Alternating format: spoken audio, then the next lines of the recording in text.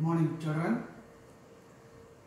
Today I am going to explain one of the important chapter in chemistry part that is carbon and its compounds. This is very important chapter in chemistry. Nearly it carries 6 to 8 marks in annual examination. This is one of the carbon is one of the important element in the periodic table. Why? Because carbon is most abundantly used in our day-to-day life. It is present in in our food and what we wear cloth. Many items what we use in our day-to-day life. Almost all the items or the materials are made up of carbon.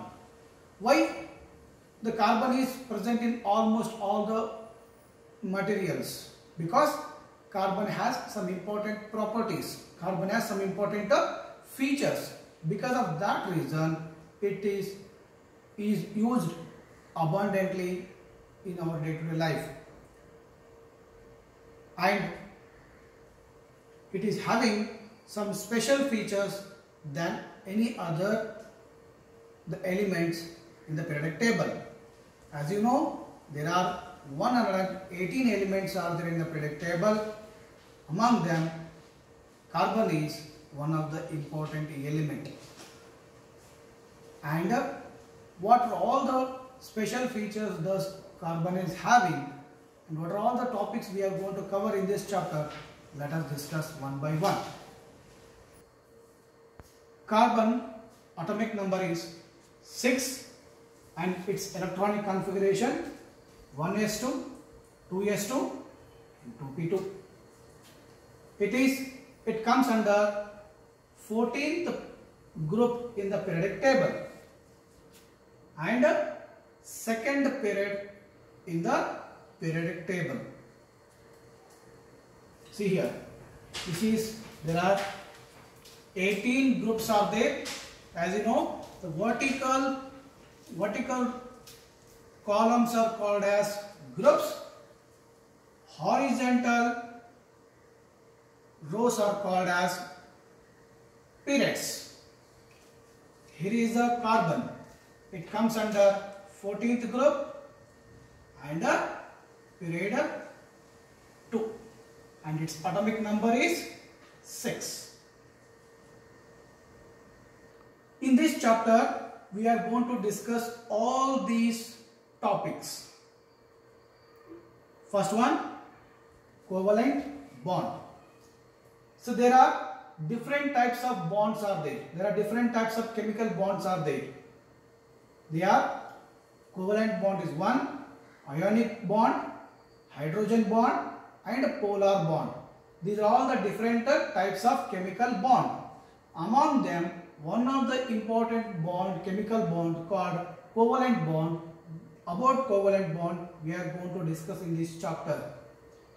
Next one, versatile, versatile nature of carbon means carbon having some important property, carbon having some important features. What are those? That is catenation, isomerism and tetravalency. What is catenation? What is isomerism and what is tetravalency? We are going to discuss in this topic. Next one, saturated and unsaturated carbon compounds.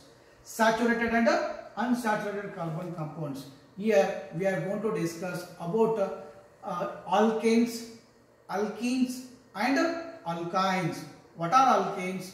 What are alkenes? And what are alkynes? And those things we are going to discuss in this uh, topic. Next one, homologous series. Next one, nomenclature of carbon compounds. How to name the carbon compounds. How can we name those? So every carbon compounds having two names.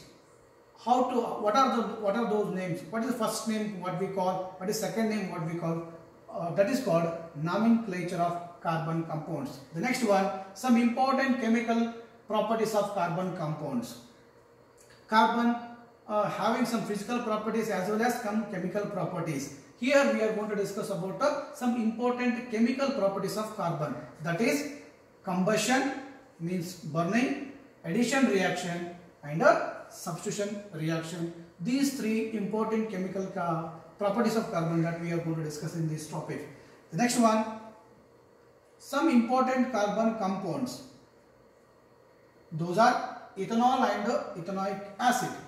Ethanol and ethanoic acid are the some important uh, carbon compounds and uh, here in this in the here we are going to discuss about uh, some important chemical properties of ethanol and its uses and as well as what are the important chemical properties of ethanoic acid and their uses we are going to discuss in under important com, uh, carbon compounds. The last topic of the chapter that is called soaps and detergent. How soaps are prepared, how detergents are prepared. Uh, that is going to discuss in this uh, topic. So these are all the in, these are all the topics that we are going to discuss in this uh, chapter called carbon and its compounds.